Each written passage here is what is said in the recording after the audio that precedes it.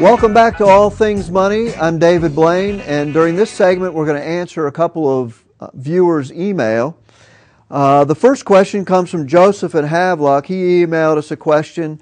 There are a lot of infomercials on television about investing in foreclosed properties, uh, but you have to purchase a system, often for quite a lot of money. Do you have any general suggestions about buying foreclosed properties? And that's a great question. Uh, we have a lot of experience at our firm investing in real estate, and my first answer is if you don't know what you're doing, don't do it. Uh, the days of of being able to go out and buy a, a cheap property, slap a coat of paint on it, and, and sell it a week later and, and make $20,000 are over. Um, there are some great opportunities in foreclosed properties. Um, I personally, when it comes to investing in real estate, there's only one thing that matters, and that is uh, cash flow. If you're buying a property uh, hoping to fix it up and, and flip it or sell it in a, you know, a relatively short amount of time, that is not investing in real estate. That is more of a, a business. Um, that's more of speculation where you're in the business of buying, rehabbing, and turn around, uh, turning around properties. For me, investing in real estate is buying a piece of property that produces cash flow on a regular and consistent basis. Uh, other than that, it's more of a business there's nothing wrong with business or speculating. It's just to make sure, first of all, are you going to go into business, buying and selling homes? Are you going to speculate in real estate and hope to buy it and just sell it for a higher price in a few months? Or are you investing in real estate for the rental income? And so each one of those scenarios takes a little bit different uh, flavor. When investing for income, there's certainly some good deals out there. I do not like to uh, invest in single family residences as rental properties. Uh, you have one tenant, you have one property, your rental income is totally dependent on that one thing. I prefer to move into uh, duplexes, quadruplexes, and if you have the money, small apartment uh, buildings. The same thing with commercial. Um, we like to see a mix of um, different types of businesses that may use the commercial property. Once again, the same thing. If you can only afford one property, you're probably better off in the public markets just investing in a REIT or, or something along those lines. So, anyway, the, the point is that uh, there are some good deals out there in foreclosed properties.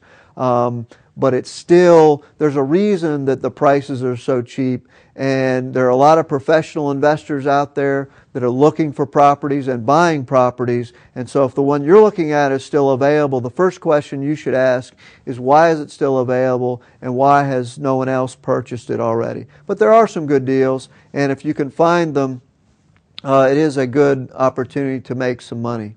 So the next question we have, a, a, viewer in Taberna asks, I'm thinking about starting my own company, but I'm not sure if I should create a corporation or LLC. What would you recommend?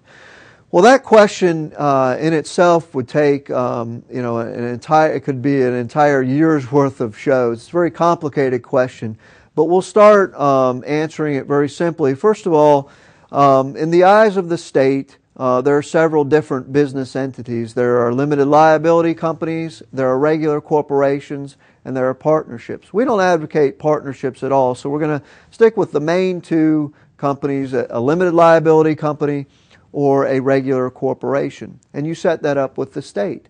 Now, when it comes to taxation, uh, that's a different question. An LLC, uh, most people don't realize, can be taxed as a partnership. It can be taxed as a or as a corporation. Uh, corporations can be taxed in two ways, either under subchapter C of the IRS code, which is sort of a normal way to, to tax a corporation, or a subchapter S, which cr- converts the corporation into a pass through entity. So an LLC can be taxed as a partnership, a subchapter C, or a subchapter S corporation. And I don't want to bore you with a lot of the details of how this works, um, but suffice to say there are different choices, and in different situations, one or the other type company may, may make a difference. Uh, the important thing to remember in the eyes of the state, there's only LLCs and corporations. A C corporation or an S corporation has nothing to do with the legal structure of your company. That is a tax designation.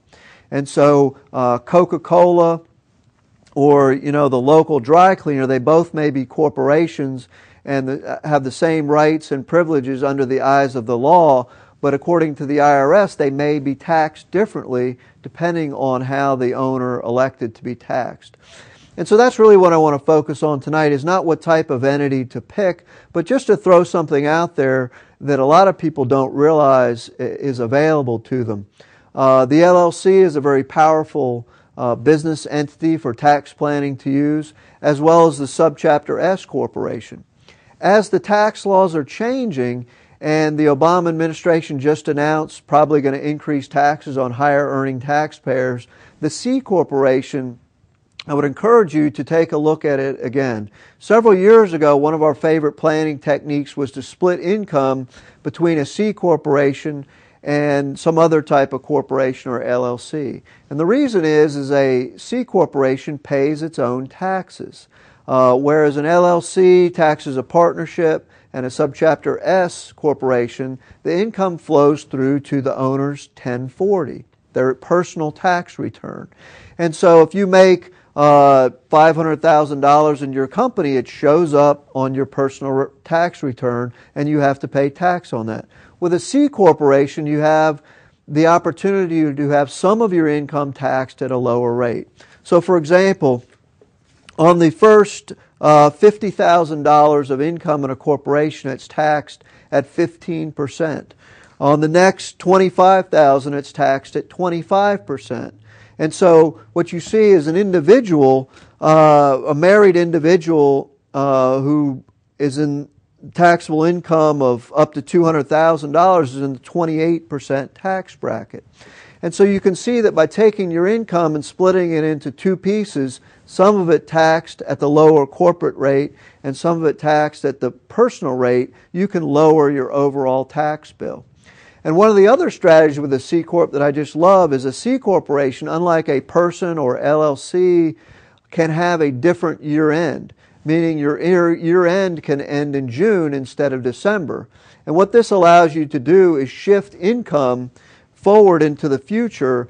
Uh, so if you have income in one business and you need to reduce that income, you can pay a, some sort of a management fee or something to the C corporation, and their taxes are not due until June. And so it allows you to postpone the payment of that income tax.